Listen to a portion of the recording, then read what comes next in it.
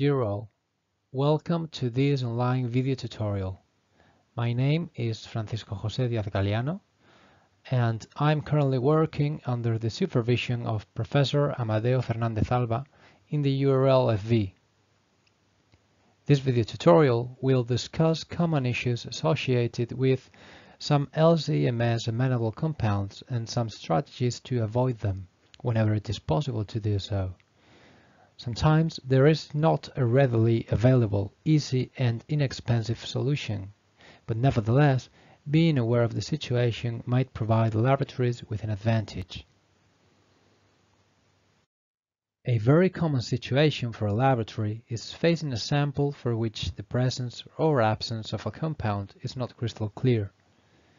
In these cases, there is a risk of reporting false positives or false negatives, in the following slides, we will present some false positives and false negatives we have recently encountered during the evaluation of the results of proficiency testing.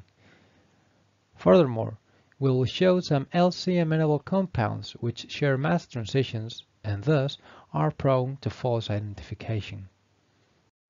Recently, the EURL-FV carried out a proficiency test in avocado.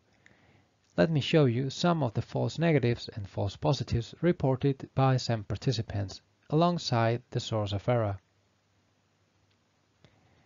This laboratory, for instance, reported a false positive result for azinphosmethyl and, concurrently, a false negative result for phosmet, which was indeed present in the sample.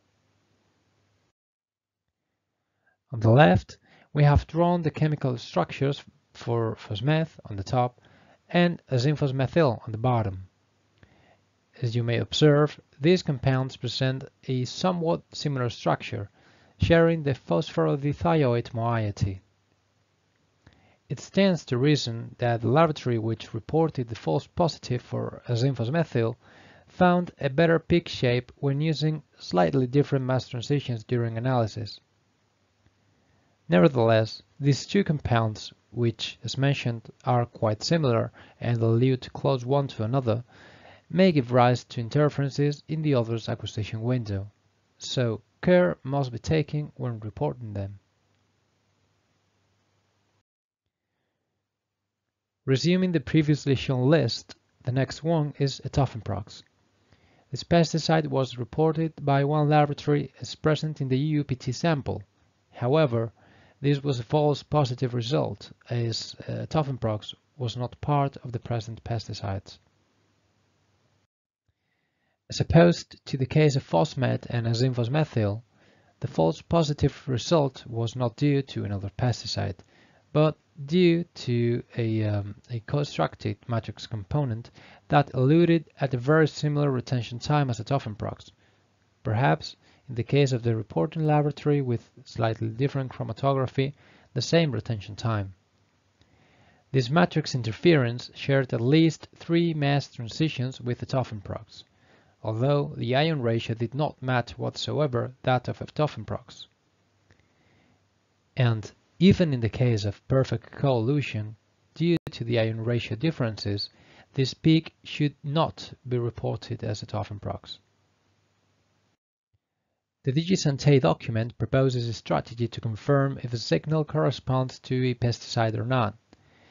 This strategy consists in adding increasing concentrations to the sample of the suspected pesticide and observing the chromatographic behavior. In this case, as can be observed from the chromatographs, this signal is not etofenprox as the interference abundance is constant, whereas the peak corresponding to a etofenprox rises with increased concentrations. Let's take a look at the previous slide again, but now zoomed in.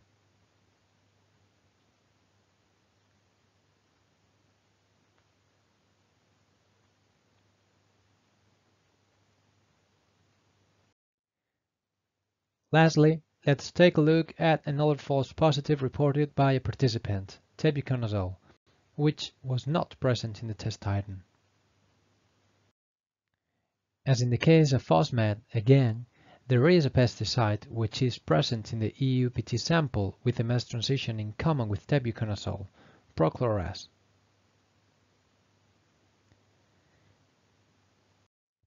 In this case, there are less similarities between both chemical structures. However, it is possible that a prochloraz fragment has mass transitions in common with tebuconazole, at least one. Although the precursor ions in each case do not match, 308 for tebuconazole and 376 for prochloraz, looking at these acquisition windows, at least one prochloraz fragment may appear in tebuconazole's acquisition window, and thus give rise to false positive reports. Now let's move on from false positives and false negatives from EUPTs and let's talk about, about other common compounds that share mass transitions and elute close one to another, and hence may be the source of inaccurate reporting. The first of these pairs of compounds are chlorpyrifos and fenpropathrin when analyzed by LCMS. Although fenpropathrin is normally found as a stable ammonium adduct whenever there is ammonium in the mobile phase, the proton adduct is also present. Chlorpyrifos can be found as two equally abundant isotopologues, one with three chlorine 35 atoms and one with two chlorine 35 atoms and one chlorine 37 isotope. The isotopologue with three chlorine 35 atoms shares unit mass with fenpropathrin, and furthermore has at least two mass transitions in common with it.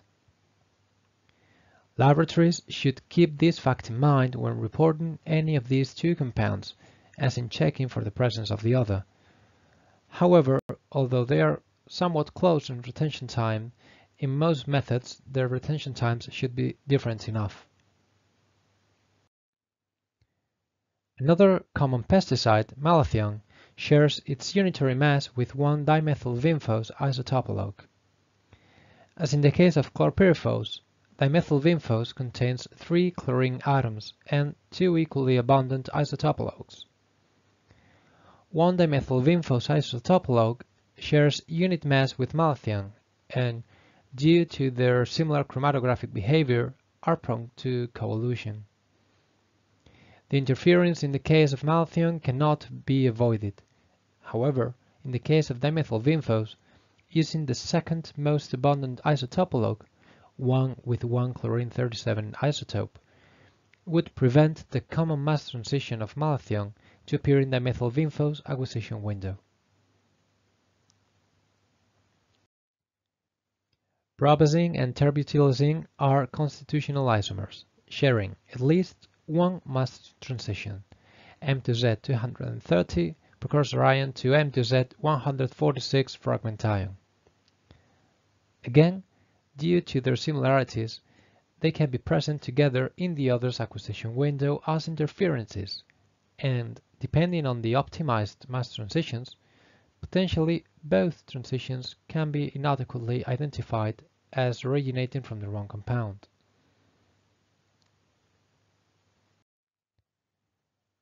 And finally, a classic example of compounds with mass transitions in common are aldicarb and butoxycarboxime. Although ion ratios are not exactly identical, they can be close enough for false positives and false negatives, so special care should be taken with this pair of compounds, which, as in another previously seen case, are constitutional isomers too.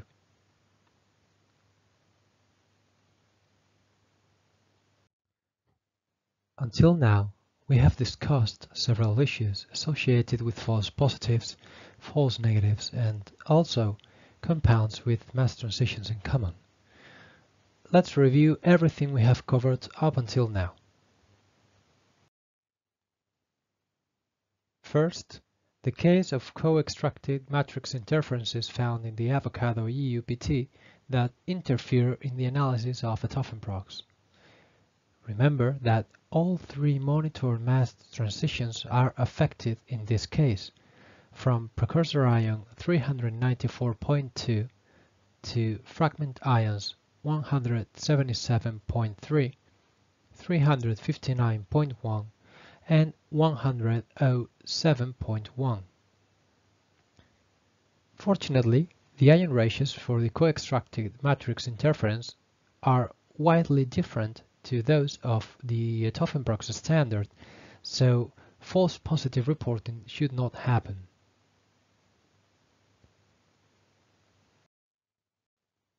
Let's continue reviewing the rest of compounds with common mass transitions. It is a good idea for the laboratories to include the information regarding all these pairs in their own database of common mass transitions, which most laboratories already have, if there is any of these transitions that they are not aware of. The case of phosmet and ethene was detected within a EUPT on avocado. The troublesome mass transition is 318 precursor ion to 133 in the case of phosmet and to 132.1 in the case of azine Also, phosmet elutes earlier than azine Pay attention to the retention times and exclusive mass transitions. The second case of common mass transitions found in EUPT was the pair tebuconazole and prochloraz. In this case, a fragment of prochloraz fragments in an analogous way to tebuconazole, resulting in an interference for the 308 to 70 mass transition. Tebuconazole elutes earlier, so using the exclusive mass transition and the retention times, Correct identification should be possible in all cases. And now, let's end with four pairs found within regular routine laboratory work. The first pair is chlorpyrifos and fenpropathrin.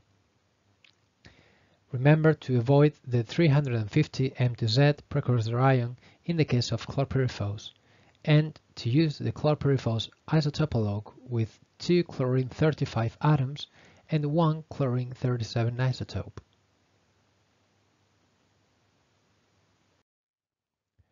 For dimethylvinphos and malathion, the mass transition in common is 331 to 127.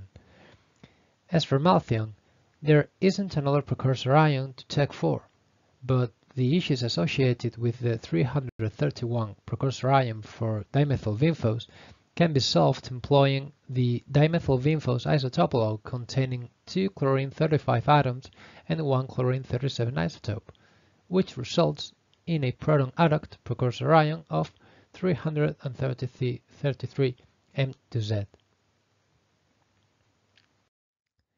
Despite being constitutional isomers, fortunately, there is one mass transition exclusive to terbutylazine and another one for propazine.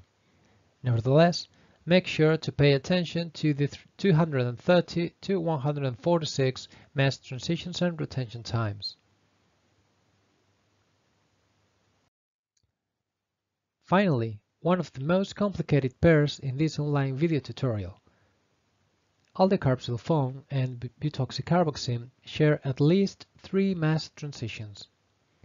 Ion ratios are slightly different and although resolution is poor, they do not fully overlap. Pay attention to the retention times and their respective ion ratios. Thank you all very much for your attention. We from the EURL-FV hope this tutorial was useful for you. In the next slide, you will find some self-assessment questions should you like to revise the topics covered in this video.